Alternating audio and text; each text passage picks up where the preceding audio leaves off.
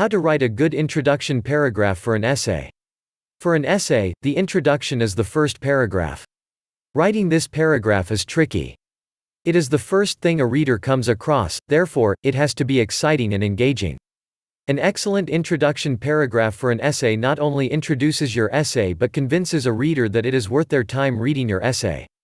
Just because it is the first section of your essay doesn't mean you have to write it first.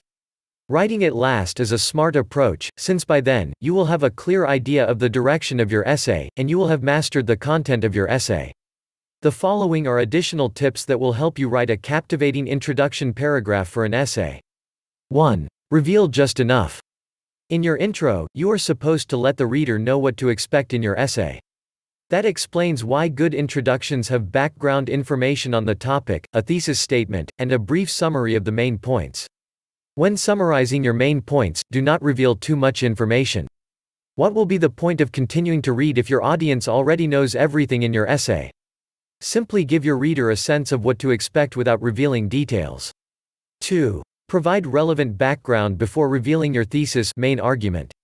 Your introduction paragraph for an essay should provide the context of your essay. The point is to provide information that leads to your thesis. However, remember, you are not trying to prove your argument but to introduce it. So, before writing the thesis, provide context and background information, not proof. 3. Write your thesis.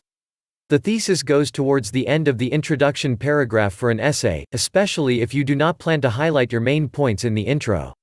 Your thesis should be concise and clearly inform the reader of your stand on the given topic. In essays, most of the time, the thesis statement is only one sentence. 4. Relevant information. It is common for people to include hooks in the introduction paragraph for an essay. A hook could be an anecdote, a fact, a piece of statistic, or a rhetorical question. Hooks help capture the attention of the reader. However, any information you include in the intro should be relevant to the topic. It will not make sense to capture the reader with something off topic, you will still lose them somewhere in the middle.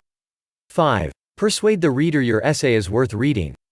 By the time a reader finishes the introduction paragraph for an essay, they should be eager to read the rest of the essay.